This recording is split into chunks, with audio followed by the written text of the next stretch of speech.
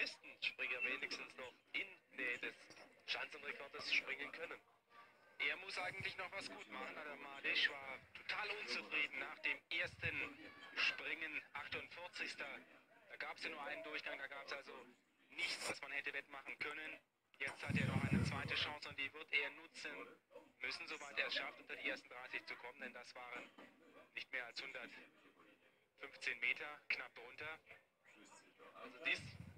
Müsste meiner Ansicht nach auch sehr schwierig werden oder man sieht es im Moment ran. 23. Das dürfte eigentlich nicht reichen.